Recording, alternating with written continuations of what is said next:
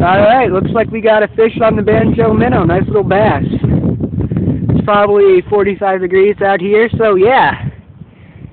Water's probably 20 degrees. No, it's, if the water was 20 degrees, it'd be frozen.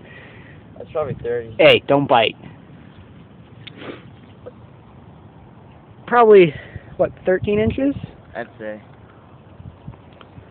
I hit it on my cranking ring. Nice fish on the banjo minnow. That was probably fifth cast. I'm liking the banjo minnow so far. Welcome. That's the glow in the dark one right there. Sinking red eyes. Alright, say goodbye. Bye, fishy.